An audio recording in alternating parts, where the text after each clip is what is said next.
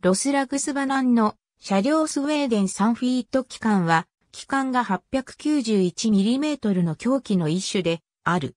この長さは、かつてスウェーデンで使われていた長さの単位では3フィートに値する。この機関の鉄道はスウェーデンにのみ存在する。この機関はスウェーデンで最も一般的な狂気であった。スウェーデンにはかつて広範な狂気鉄道が張り巡らしていたが、現在ほとんどが廃止された。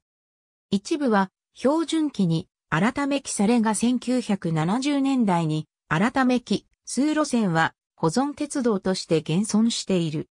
現在も一般運行しているスウェーデンサンフィート機関の鉄道はストックホルム北東部の郊外鉄道であるロスラグスバナンが唯一である。この鉄道をストックホルムアーランダ空港に接続する新しい路線の計画もある。ロスラグスバナンの支線であるロンゲンスバナンは1911年に建設された。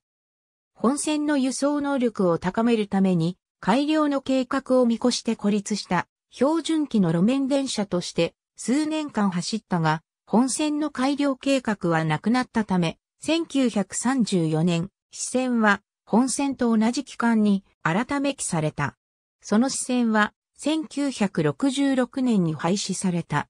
ノルトマルク・クラレルベンス・ヤルンベーグは1873年から建設された異なる路線を由来とする 175km のネットワークであった。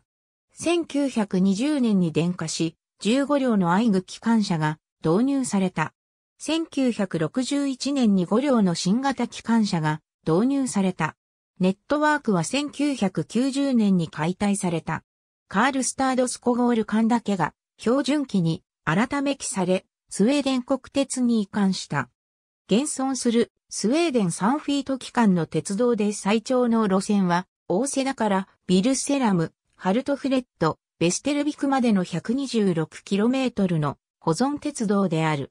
その区間のベステルビークジェニー間の 4km は標準機との参戦機上である。夏にはハルトスフレットとベステルビーク間の 70km にて観光列車が毎日運行されている。南端部の 27km には観光レールバスが運行しているが運行頻度は低い。